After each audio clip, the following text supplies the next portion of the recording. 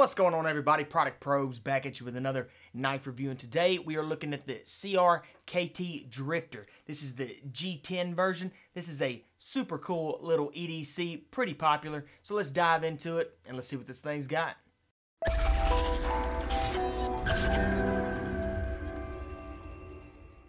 Alright guys, just a simple pocket knife. Let me give you a close up on it right here.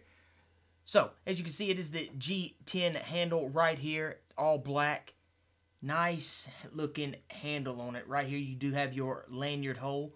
And flip it over. The only thing that I'm not crazy about on this knife is this pocket clip.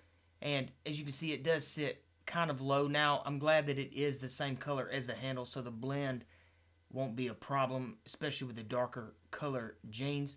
Right in here, your washers, they seem to be pretty smooth when opening this blade. Right here you do have the jimpings, your dual thumb studs right there and then smooth opening. You do have the titanium nitrate, I guess it would be gunmetal, be I guess what you would call that, coated blade right there. Standard drop point, little thumb ramp with the jimpings again. But super sharp knife, guys. Standard liner lock right there in it. Let's see. It seems to be pretty smooth. Now, yeah. See those washers in there? Let's check it out. I can flip that thing no problem at all. So, single hand close, single hand deployment, no problems there. Now, again, this thing seems to be super sharp right out of the box. So let's go see how sharp this blade really is. All right, I got a good feeling about this blade. So let's see how sharp this thing is.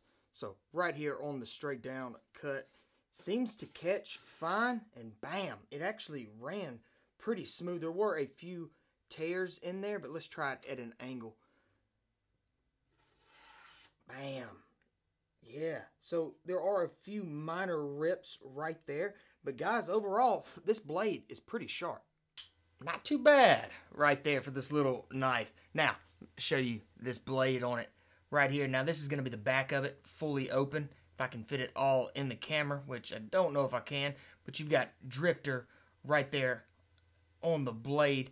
And again, guys, this pocket clip right here, I haven't been real crazy about it, but again, with that blend and without the large divot, so it shouldn't fray your pocket. But let's go check it out and let's go see what this knife looks like in the pocket. All right, let's check this thing out in the pocket. So right over here on the close up,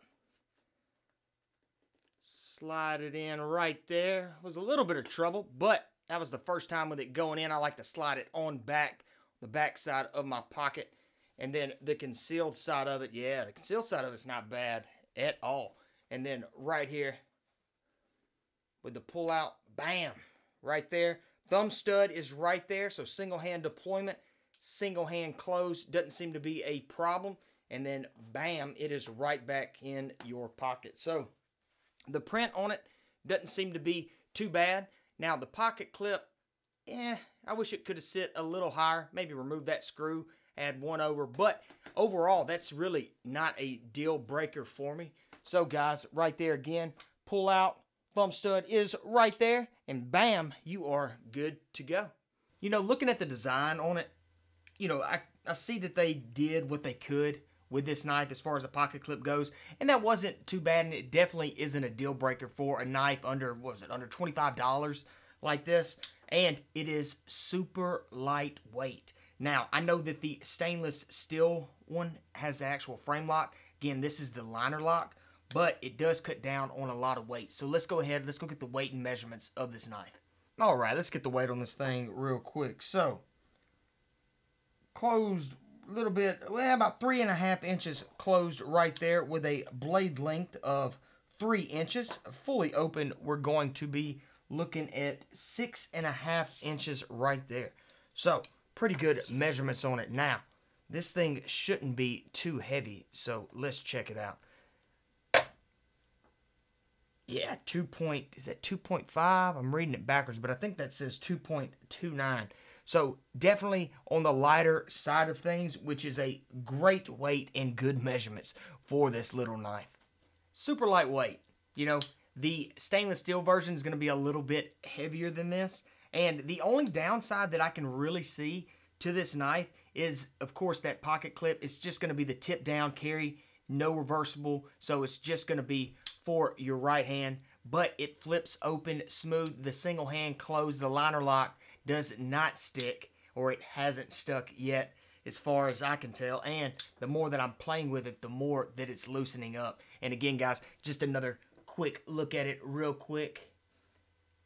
And I like the look of this knife. I mean, this is a good looking knife, just a simple knife. But again, the ambidextrous thumb studs right there, thumb ramp with the jimpings. And guys, that's it. I hope this review helped. If y'all are thinking about getting it, I'll leave a link in the description below if y'all just want to go check it out. And again, guys, be sure to hit that subscribe button, and I'll see y'all in the next one.